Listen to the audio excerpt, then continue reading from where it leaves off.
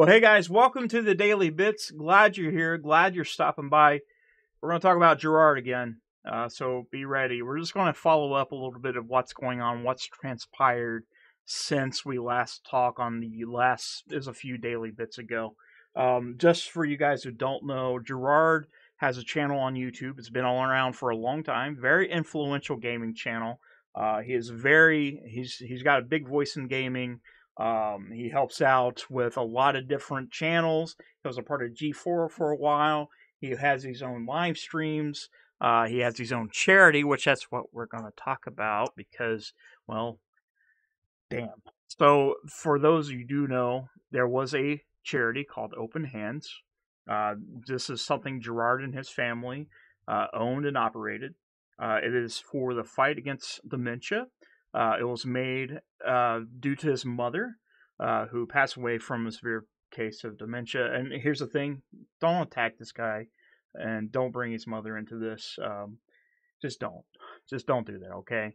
Um, you know, I don't want his. Um, I don't want his mother's name to be tarnished, and I really don't want his name to be tarnished. Uh, but it's already already is. It's too late at this point. Uh, there's no going back from this. Uh, the money is basically set, uh, set, and hasn't gone to any funding for research or any families or anything like that. Uh, Gerard was on live streams, conventions, and other things uh, promoting this charity and saying that the money was being donated, and it wasn't. Uh, it's not saying the only thing it was was actually paying for expenses like uh, operation costs. But there's about six hundred some thousand dollars that was sitting in the bank, but probably sit there for about ten years, give or take, uh, maybe a little bit less. Now, you know, if I'm wrong, please let me know. Please let me know. Uh, I, I, was disappointed in this because, like I said, I really like Jirard. I, I like his content. I've watched him for a long time. And I'm not going to beat a dead horse because we already talked about most of this. But I do want to talk about the development that's going on right now. So he brought out a, an apology video. Um, it was very, um, it wasn't good. It was very bad. It's not ukulele bad, but it's it was pretty bad uh, to the point where he didn't really take uh, ownership of the issue, and he ended up threatening Mutahar and Karl uh, Jobs. I think it Karl Jobs? Am I am I wrong on that? I, I keep on wanting to call him like Carl Sparks or Karl, Karl Jobs, so I could be Carl. You're never going to see this, but I'm sorry. I, I I hope I get your name right. Um, but basically, Jirard has threatened to sue these two people for bringing this out, saying that it's slander, defamation against him and his family.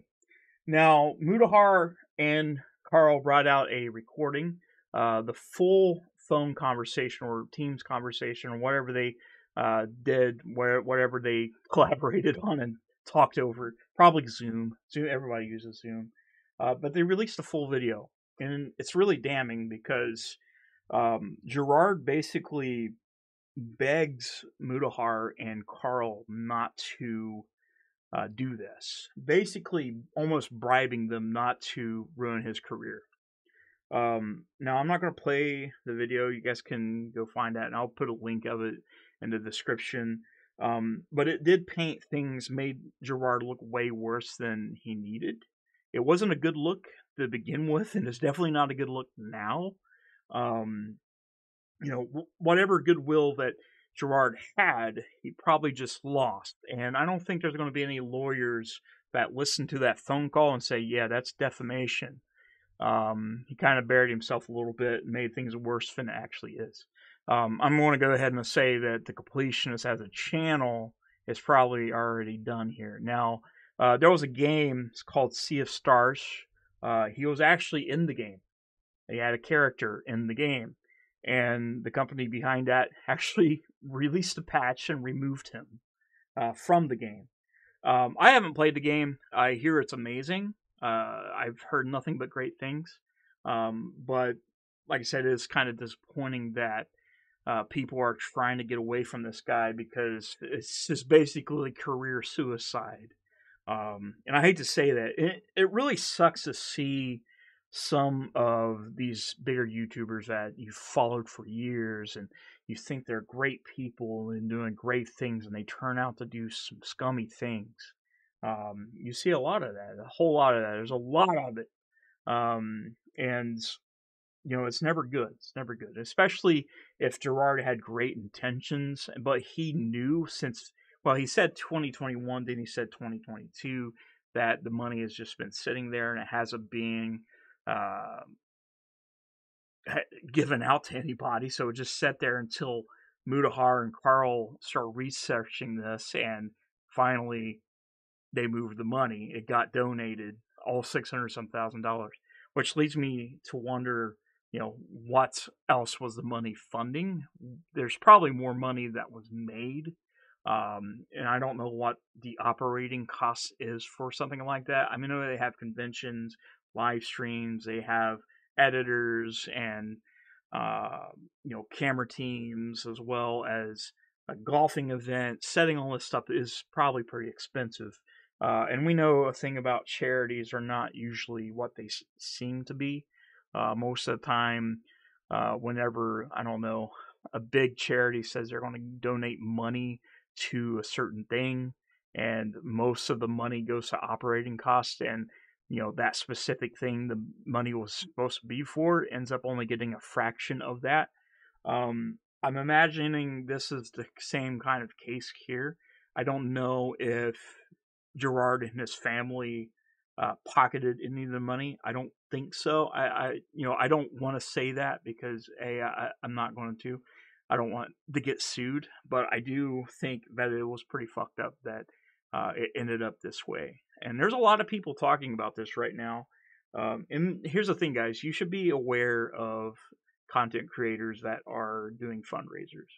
Um, in the community that we've been following with the auditor, frauditor stuff, we know that a lot of these people, you know, ask for donations for certain causes like bail money, lawyers, legal fees, stuff like that, and they end up pocketing the money um, or you know, and, and some of our favorite people like Chili, he does it all the time. He does it all the time.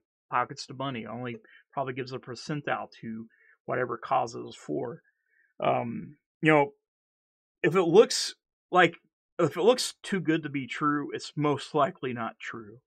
Um, and that's that's unfortunate because um, not only does this paint a bad picture on Jirard and the completionist, but it also makes his cause for his mom look really tarnished. Um, and it's going to make people second they're going to second guess you know their favorites youtube stars or content creators whenever they have charities like do we know if this money is going to go to the right place we don't know that all we can do is hope and hopefully the content creator is not some kind of fucking dickhead um, at the end of the day. And I hate that. I really do. Like the phone call. I, am glad that Mutahar and Karl released it um, because it does paint a bitter, bigger picture, uh, a whole better picture actually of this guy. Um, and it's really sad to see, um, especially when he was begging um, for them basically not to do it. Just kind of hint, hint, don't do it without saying it um, basically saying that you know he's got 20 people to feed, uh, and he's talking about his probably employees. Uh, you know, he's like basically trying to make Mutahar and uh, Karl feel sorry for the guy, and I do. I feel I do feel for I feel for the guy. Right? I feel I do feel a bit sorry for the guy. If he didn't know that the money was not being uh, sent out to the right places. He should have stopped it since he is the head of it, since he is an overseer. The money should have been spread out years ago. It should have been given out as the donations came in. Now I know, I know some people say, well, maybe he was saving up for a big enough sum to then give it away. Why ten years though? Why why is it why why close to a decade? Just why? Why? I don't understand.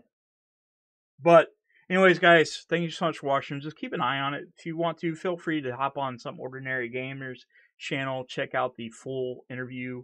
Um, that way you can kind of get more information so you can kind of paint uh, your own opinion on it. Because, like I said, I do think this is something that needs to be out there. Uh, I don't think people should sit on this because it is very important. Um, and this is definitely career ending for this content creator. So I love you guys. Be sure to hit that subscribe button. I'll see you soon.